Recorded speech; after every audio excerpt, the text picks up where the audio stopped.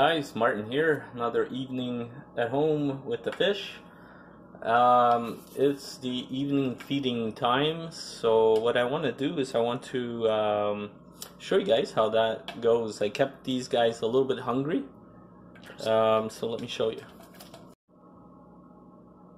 So this is the um, cichlid tank. Uh, this is the cichlid tank and um, here we go. We're gonna do some feeding at the top I have a bunch of little leaves. And Max is all eager here to feed these guys with us. And like I said they didn't get fed since this morning so they're a little bit hungry. What I feed them are flakes. And I just drop it there and let them go at it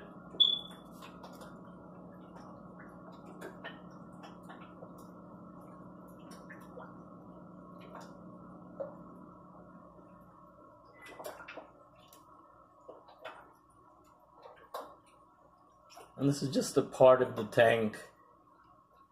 There's actually quite a bit of fish in here. There's breeding pairs in this tank and um, they keep breeding and um, they keep their numbers to whatever they feel is best for the tank.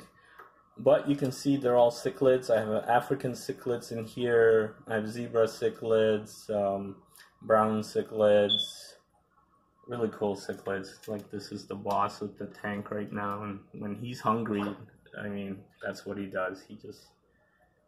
Um, so I do have an em mostly empty um,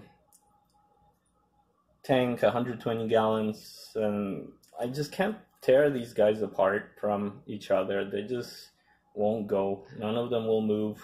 I can't. Uh, I cannot catch the fish with the net. So I am testing out a new camera here as well. Hopefully you guys can see the detail is uh, hopefully a lot better. So this is just a test video mostly. Hopefully you guys enjoyed and don't mind all the silicone here. I had a major leak on my tank a while back that I fixed. Um, but it is a beautiful tank. I enjoy it every day. It's in my office. It's right next to my computer. And yeah, aquariums are a lot of fun. If you do it right, like this here, every fish is peaceful. There's not a lot of fighting. I mean, except for the boss of the tank when he's really hungry. I mean, he'll let you know he's the boss of the tank. A lot of colors in here.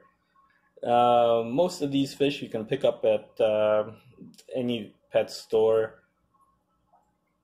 They're not rare at all.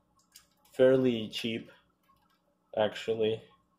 So hopefully um, that gave you a little taste of um, the cichlid fish and hopefully you like these little guys as much as I do. And um, yeah, enjoy your fish tanks, guys. Good luck.